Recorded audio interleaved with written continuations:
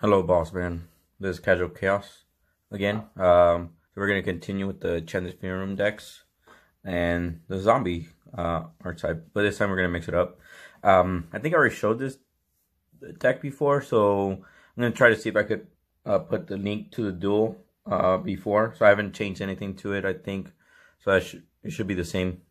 So if you, the guys that the people that have seen it, you guys already know what which I'm talking about.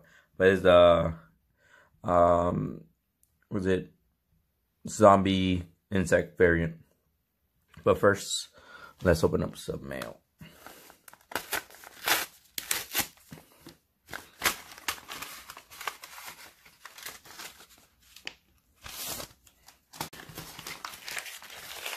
Let's put that to the side. Let's see what we got. Oh, oh, quite a bit of tape. Oh, lots of tape.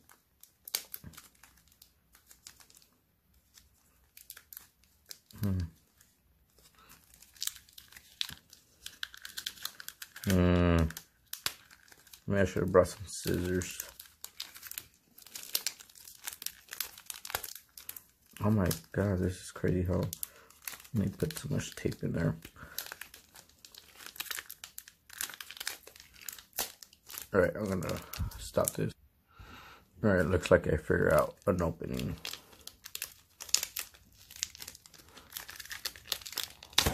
Oh shoot. That's good enough. Mm, this was hardcore. Alright, alright, alright. Cool. Yeah, I'm thinking of making a summon skull deck just for fun. And well, I guess a true Draco is a little bit more competitive, but it's still considered like uh, lower tier. But anyways, let's put that to the side and let's start the deck profile. Alright, so we have three Skull of the Servants. Two, King of Skull Servant. So that's the insect type.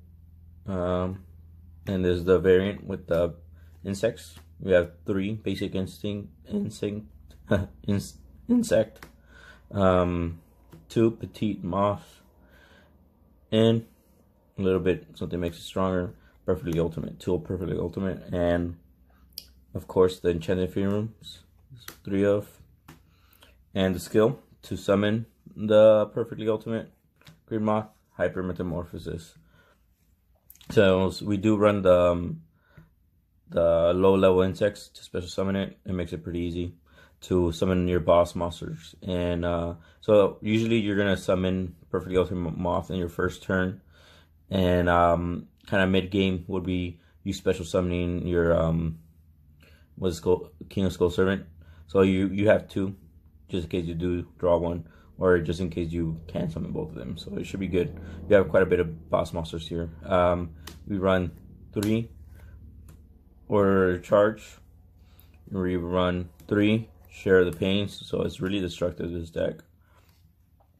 And one order to smash. So that's basically the deck. Hopefully you guys like it.